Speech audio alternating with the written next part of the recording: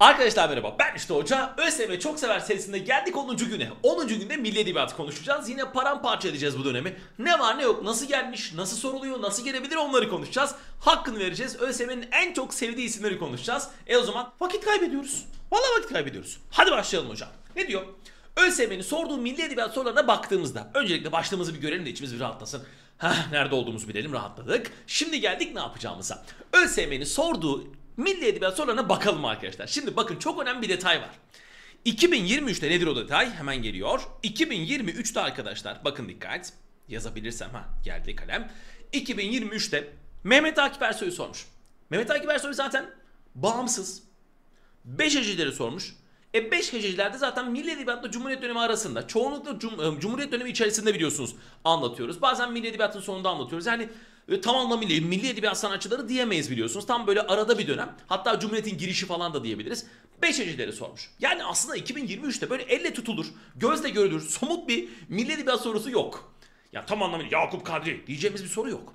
2022'ye bakıyoruz. Yakup Kadri Reşat Nuri paragraftan iki kişi olarak soruluyor. Bir paragraf verilmiş, boşluk bırakılmış, tamamdır Yakup Kadri yakalanmış. Eyvallah. 2021'de Bihruz Bey, Efruz Bey biliyorsunuz karakter sorusu. 2020'de bir bağımsız soru yani neredeyse yine Milli Edebiyat sorusu o dönemde yok. 2019'da Yakup Kadri, Reşat Nuri ve Ömer Seyfettin'in bir arada olduğu yani 3 ismin bir arada olduğu bir seçenekli soru. Yani kısacası Milli Edebiyat böyle çok yoğun bir şekilde gelen bir dönem değil belli ki onu anlıyoruz. Son 4-5 yıl analizinden bu çıkıyor ama yine de tipik isimler var. Yakup Kadri gibi, Reşat Nuri gibi, Halide Edip gibi son böyle 7-8 yılda sürekli böyle tık tık tık şıklarda mutlaka gelen bir şekilde cevap alan isimler. Ben de o yüzden işte tüm bunların ışığında o zaman bu isimleri asla unutmamalısın dedim. Ve Milli Edebiyat'ta bilinmesi gereken çok önemli isimleri sizler için topladım. Şimdi başlayalım isterseniz önce eserlerini seslendirelim. Bir iki eser üzerinde seslendirme yapmamız yeterli tanımamız için. Mesela Yüksek Gökçeler çok tanıtmaz kendisini bize değil mi? Gizli Mabet fena değil. Bahar ve Kelebekler çok iyi. Beyaz Lale artık sorumuzun cevabı. Efruz Bey eyvallah yine sorumuzun cevabı olabilecek nitelikte çok tipik eserler arkadaşlar. Bu eserler bize çok net bir şekilde kimi hatırlatacak? Ömer Seyfettin'i hatırlatacak. Ömer Seyfettin eyvallah. Karalama yazdım. İçiniz rahat olsun. Okuyacağınız şekilde yazacağım. Çok özenmeye kalkarsam zaman gidecek hiç gerek yok. Geldik ikinci isme. Kızıl Elma. Yeni Hayat Altın Işık. Bitti. Ha Türkçünün esasları vesaire çok bilinen çok önemli eserleri ama bu ilk 3 şiir kitabını saydım Ziya Gökalp olduğunu hemen hatırladık. Şimdi arkadaşlar bakın Sorulan sorular ışığında ben bu notları hazırladım. Doğal olarak bu sene bu notlarla soru kaçırma ihtimalimiz yok. Çok net. İsim belli zaten. Sorulacak isim de belli. Eser içerik noktasındaysa arkadaşlar 65 günde AYT Edebiyat Kamp kitabını unutmayın. Ders notlarını aman dikkat arkadaşlar. Oradan Milli Edebiyat'ın hemen hemen bütün eserlerini sıkı takip edenler biliyorlar. Hemen hemen bütün eserlerin içeriğini verdim arkadaşlar. Bir de burada verip sizleri çok fazla sıkmak, boğmak istemedim. Burada biraz daha eser odaklı, yazar odaklı gideceğiz. O yüzden arkadaşlar sizden ricam bu eserlerin bu tahtada gördüğünüz ekranda daha doğrusu gö tahtada gördüğünüz ekranda gördüğünüz eserlerin hemen hemen tamamının içerikleri böyle gideceğiz daha onlarca eser bizi bekliyor. Bunların hepsinin neredeyse içeriğini 65 Hidayet Edebiyat Kamp kitabında bulacaksınız. Videolarında da bulacaksınız. Aman dikkat. Peki geldik arkadaşlar bir diğer isme Milli Edebiyat döneminin yön vericilerinden kurucularından Geçtiğim Yol adlı eseri kimi hatırlayacağız? Ali, Canip, Yöntem ama tabii ki çok önemli isimlerini seslendirmeden de geçemeyeceğiz. Olmaz öyle yapamayız. Mesela buradan Cenap Bey ile münakaşalarım değil mi? Milli Edebiyat meselesi ve Cenap Bey ile münakaşalarım en önemli eserlerinden bir tanesi geçtiğim yolla birlikte. Peki hocam Diğerlerini çok da bilmenize gerek yok. Cenge giderken biz nasıl şiir isteriz? Türkçe şiirler, Türk sazı. Şöyle bir bakıyorum. Tan sesleri çok iyi. Ey Türk Uyan var. Turan'a doğru var. Ordunun destanı var. Aydın kızları var. Dicle önünde var. Varda var abi bunlar çok iyi. Bunlar çok iyi. Çok net. Mehmet Emin Yurdakul arkadaşlar. Mehmet Emin Yurdakul bilinmesi gereken en önemli isimlerden bir tanesi aman dikkat. Peki hadi devam edelim başka neler var? Ne diyor? Türk Edebiyatı'nda ilk mutasavvıflar, Türk Edebiyatı tarihi bu ismi hatırlamayabilirsiniz çok normal. Yapamayabiliriz. Çok çok normal arkadaşlar. Mehmet Fuat Köprülü. Yani normal derken bilinmesi gereken bir isim değil anlamında söylemiyoruz. Yani Mehmet Fuat Köprülü'nün hani bir milletvekilliği falan biraz da o taraflarda e, tanınıyor. Bir de Mehmet Fuat Köprülü bir edebiyat tarihçisi. Yani çok önemli bir edebiyat tarihçisi. Hatta edebiyatın dönemlere ayrılmasındaki de en önemli isimlerden bir tanesi. Yani bu Tanzimat Servet falan diye dönemler ayırıyoruz ya. Bu şekilde incelenmeyi savunan, incelenmesi gerektiğini vurgulayan en önemli isimlerden bir tanesi. Bir edebiyat tarihçisi. Yani bir roman, şiir, tiyatroyla anılacak bir isim değil. O yüzden bilemeyebiliriz dedim. Aman dikkat. Peki Dağ Yolu Güne Bakan Hamdullah Supi Tanrı Över cepte kesinlikle kalmalı Milli Edebiyat'ın önemli isimlerinden. Peki hocam başka kim var? Haristan ve Gülistan Çağlayanlar. Çağlayanlar bu nasıl bir tonlamadır? Çağlayanlar. Gönül Hanım biliyorsunuz Ahmet Hikmet Müftüoğlu. Ahmet Hikmet Müftüoğlu. Bakın arkadaşlar ben Eylül ayında videoları başlattım biliyorsunuz. Eylül de, başladık. Eylül ayı içerisinde yazar eser kampı yaptım. Onu da bir hatırlatayım. Şimdi aklıma geldi eser içeriklerini konuşurken. Esere vurgu yaparken daha doğrusu. Yazar eser içerik kampı arkadaşlar. Yani bu eserlerin neredeyse tamamının dönem dönem hepsinin içeriği var. Mutlaka bakın arkadaşlar. Kesinlikle oturtun. Eser içerik kampı Eylül'de başlamıştı. Hatta o kamp bitti. Ekim'de de biz 65 gün kampını başlatmıştık. Haberiniz olsun. Aman dikkat oraya da yüklenebiliriz.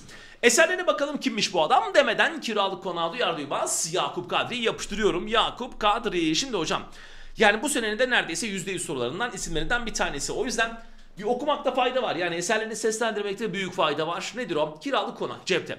Nur Baba, Hüküm Gecesi. Sadece arkanıza yaslanın, gözler kapansın. Kulaklarda sadece bu eserler yankılansın ve sürekli siz Yakup Kadri'yi lütfen hayal edin. Haydi başlıyoruz. Nur Baba, Hüküm Gecesi, Sodom ve Gomorre. Bu sene sorulabilir dikkat. Yaban, Ankara, Bir Sürgün, Panorama 1, Panorama 2. Hep o şarkı. Bunlar roman türünde. Hikaye türünde yazmış olduğu eserlere baktığımızda Bir Senen Cam, Rom, Rahmet, Rahmet de olur. Allah'ın rahmeti gibi oldu. Rahmet, milli savaş hikayeleri eyvallah. Tiyatro noktasında Nirvana ve Beta, mensur şiir noktasında Erenlerin Bağından Okun Ucundan, anı noktasında Zoraki Diplomat, Anamın Kitabı, Vatan Yolunda, Politikada 45 Yıl, Gençlik ve Edebiyat Hatıraları, monografi ve biyografi noktasında Ahmet Haşim Atatürk. Hocam biyografi biliyoruz da monografi ne? Aslında monografi de böyle biyografi gibi bir şey ama monografi daha ayrıntılı hali arkadaşlar. Bir tık daha ayrıntılı hatta iki tık. Yok yok 5-6 tık var evet, evet bayağı ayrıntılı. Monografi bir kişinin hayatını çok ayrıntılı bir şekilde ele alan eser türü. Dikkat cebinize kalsın. Peki Heyula Rain annesi, Seviye Talip, Handan ah, şimdi rahatladık. Yeni Turan, Mevut Hüküm, Ateşten Gömlek iyice rahatladık. Kalp ağrısı vurun kahveye şimdi daha da bir rahatladık. Zeynol'un oğlu Sinekli Bakkal aman Allah'ım bitti. Sinekli Bakkal dendi mi Halide Edip adı var akla gelmeli. Halide Edip adı var. Eyvallah. Çok önemli isimlerden bir tanesi arkadaşlar. Yine döneme yön veren cephe gerisinde, cephede mepe her yerde çalışmış. Çok önemli bir isim arkadaşlar. Hatipliği ile biliniyor biliyorsun. Sultanahmet mitingi ile biliniyor. Böyle bir anda böyle halkı gaza getirebilen değil mi? Böyle hadi yapıyoruz hadi gidelim havasını verebilecek isimlerden bir tanesi. Çok büyük bir isim. Daha çıkan Kurtarap Muhabbetler gibi birçok eseri var ama seslendirmem lazım. Bu isim de gelebilir arkadaşlar. Tiyatro noktasında Kenan Çobanları Maske ve Ruh. Anı noktasında Mor Salkımlı Ev Türk'ün Ateşte imtihanı. Saygı duyulması gereken eserleri. Gelir gelir dikkat. İstanbul'un iç yüzü. Yezid'in kızı. Çete. Sürgün. Sirgün diyecektim Nilgün'ü görünce ben birleştirdim. Sürgün, Nilgün, anahtar. Bu bizim hayatımız. Yer altında dünya var. Dişi örümcek. Bunlar hikaye. Bunlar hikaye. Bunlar geç. Ya bunlar hikaye derken bunlar roman türünde de. Sorulmaz anlamında hikaye demek istedim dikkat. Bugün Eser ailesi bunlar çok önemli romanlar. İstanbul'un iç yüzü, Yezid'in kızı, Çete, Nilgün Sürgün, Bugün Eser ailesi önemli romanları. Hikaye noktasında zaten bu ismi biliyoruz. Memleket hikayeleri, gurbet hikayeleri bitti. Refik, Halit, Karay aman arkadaşlar lütfen cebinizde kalsın olur mu? Çok çok değerli isimler arasında. Geldik bir diğer yazarımıza. Bakalım tanıyabilecek misiniz? demeye gerek kalmadı. Bunu ikinci, bu ifademi, bu ifademi şurası için kullanalım. Şu ikinci isim için kullanalım. Çünkü öyle bir gaza gelip girdim ama çok da bilinen bir isim bu. Gizler, Çalı kuşum, damga, dudaktan kalbe, akşam güneşi, bir kadın düşmanı, yeşil gece, acımak, kızılcık dalları, gökyüzü, eski hastalık, yaprak dökümü, ateş gecesi, değirmen, miskinler tekkesi, harabelerin çiçeği, dikkat, son sığınak, ka- e, kavak gelleri, Kan davası eyvallah. Sönmüş yıldızlar önemli, Anadolu notlar önemli. Bu turuncu olanlar belki 65 gün kampını takip etmemiş olanlar olabilir. Aramızda aman dikkat olmasın. Bu turuncu renkte olanlar arkadaşlar e, ÖSYM'nin kullandığı eserler. Yani turuncu renklerin tamamı ÖSYM'nin kullandığı şeyler. Peki uzattın hocam. Kimdir bu isim? Tabii ki Reşat Nuri Güntekin arkadaşlar. Bomba çok iyiydi. Evet bakalım bu ismi bilebilecek miyiz? Dikmen Yıldızı, Odun Kokusu, iki süngü arasında Yaldız eyvallah. Türk Kalbi, Sarı Zeybek, Beyaz Kahraman, Gazi çocukları için Bozgun, Çocuk Kalbi, Türk Duygusu. Ben sana söyleyeyim Bozgun ve Dikmen Yıldızı'nı bileceksin. Yatıp uyuyacaksın. Başka hiçbir şey gerek yok. Çok zor ihtimal ama belki Çocuk Kalbi. Bu üç eser diyelim arkadaşlar. Kimi hatırlatsın bize? Aka, Gündüz. Kesinlikle unutulmamalı. Sorulma ihtimali çok yüksek Aka Gündüz'ün dikkat bu sene. Bakarsınız bir yerlerde Dikmen Yıldızı ile gelir. Ama bu sene neden yüksek diyoruz? Çünkü arkadaşlar yani çok ciddi bir giren sayısı var. Çok ciddi bir giren sayısı var. Yani burada detaya girme ihtimalleri çok yüksek. Bunu da edebiyat için neden yapmasınlar ki? İnşallah yapmazlar. İnşallah yapmazlar. Bana kalsa Ako Gündüz'ü sormam mesela. Ya soruyu sen yaz hocam deseler Ben %100 Yakup Kadri sorardım yani kesin. Yakup Kadri hiç affetme. Ahmet Hikmet Müftüoğlu falan yani çıkar inşallah yaparsınız ama Yakup Kadri sorardım. Sodom ve Gomorra'nın içeriğini sorabilirdim. Fena olmaz. Eserinin türünü sorabilirdim. Çünkü Yakup Kadri abi her türde yazmış. Bakar mısın Allah şuna bak. Mensur şiir, anı, monografi, biyografi, hikaye, tiyatro ne varsa biraz kurcalasak daha bir sürü var. Bir sürü. Mensur şiir yazan bir romancıdan bahsediyoruz arkadaşlar. Çok büyük bir romancıdan bahsediyoruz. Mensur şiirleri var. Daha ne kadar tezat olabilir yani? Neyse devam ediyoruz. Bakalım neler var. Oba başka yok değil mi? Yok. Kalp çizmek için boşluk bırakılmamış. Ops buraya çizeriz. Affetmeyiz. Affetmeyiz. Neyse yaklaştıralım. Evet. Tiyatroları, şair, tecdidi nikah, fırsat yoksuluğu, kadın tertibi. Bu ne Allah'ını seversen? Dengi dengine. Bu, bu ne abi? Bu çok kıyıda köşede kalan bir isim bu. Ama önemli tabii ki cebimizde kalsın. İbnül Refik Ahmet Nuri 8. Vallahi kalem yazmıyor. Hah yazdı dur dur dur. Arda arada iyiler geldi. İbnül Refik. Dikkat. Ahmet Nuri 8. Hocam valla yazmasanız daha iyiymiş. Yazmasam daha iyiymiş. İbnül Refik Ahmet Nuri 8. Bir kişi bu dikkat. Türk kızı tamam köprülüler eyvallah. Aynaros kadısı bu ikisini bilmeniz yeterli.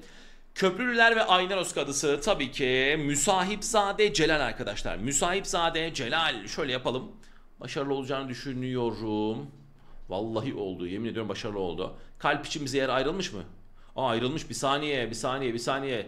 Tabletin günahını al. Vallahi tabletin günahını al. Bize boşluk bırakmış. Günahını almayalım. Dikkat! Hemen kalbimiz geliyor. Kalpsiz olmaz. Şuraya ne oldu Allah'ını seversen. Yarım elma gibi. Bu, bu ıstırılmış burası. Burası ısırılmış. Çok hoş değil. Çok hoş değil. Olmadı. Başarısız bir kalp çizimi oldu. Neyse inşallah video başarılıdır. Beğenirsiniz inşallah. Ama kalp başarısız oldu. Evet. Süper. Bu isimleri bilelim arkadaşlar. Bu isimleri biz bileceğiz de. Bu isimlerin dışında bir şey sorulacak bize. Milli Edebiyat konusundan ya. O kadar da değil. İçiniz rahat olsun arkadaşlar. Bomba gibi gidiyoruz. ÖSYM'i çok severdim. Son günümüz Cumhuriyet dönemi olacak. Sonra ben arkadaşlar biliyorsunuz geçtiğimiz sene sayılarla edebiyat yapmıştım fazlaca. Yine bu sene bol bol sayılarla edebiyat videoları gelsin arkadaşlar. Edebiyat denemelerinde Allah'ım elime geçecek arkadaşlar. Sıfırdan dil bilgisini aldım. Yarın muhtemelen edebiyatta gelecek. Ben bugün de gelebilir. Ya kargo mesajı geldi ama ya bugün ya yarın elimizde olacak. Sıfırdan dil bilgisini duyuracağım. Bunu da inşallah çekip duyuracağım. Edebiyat denemelerine haberiniz olsun. Ama edebiyat denemesi ne başlasak da hemen yarın başlıyoruz desek de demesek de arkadaşlar ben bu sayılarla serisini devam ettireceğim haberiniz olsun. Yani her gün gelecek olan e, sayılarla edebiyat serisi devam edecek haberiniz olsun. Çok edebiyat e, ÖSYM çok sever edebiyat sever de olur. ÖSYM çok sever serisi bitecek. Geçen sene yaptığım sayılarla edebiyatı devam ettireceğiz bir yandan bir yandan da denemeleri başlatacağım inşallah. Haberiniz olsun içiniz rahat olsun. Yorumlarda görüşelim. Ne durumdasınız? Ne yapıyorsunuz? Çalışmalar ne durumda? 65 gün kampı ne durumda? Başladık mı? Başlıyor muyuz? Yarıda mıyız? Bitti mi? Bitirmek istiyor muyuz? Ne durumdayız abi? Bir bakalım. Onu da bir konuşalım. Ona göre yolumuzu çizelim. Biliyorsunuz yorumları okuyorum. Saniyesinde dönüş yapıyorum çoğuna. Elimden geldiği kadar. İçiniz rahat olsun. Hadi yorumlarda sizi bekliyorum. Görüşürüz.